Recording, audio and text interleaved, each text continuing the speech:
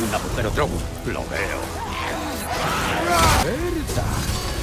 Así se llamaba. Intento recordar que Dios fue el que despertó su ira. No importa.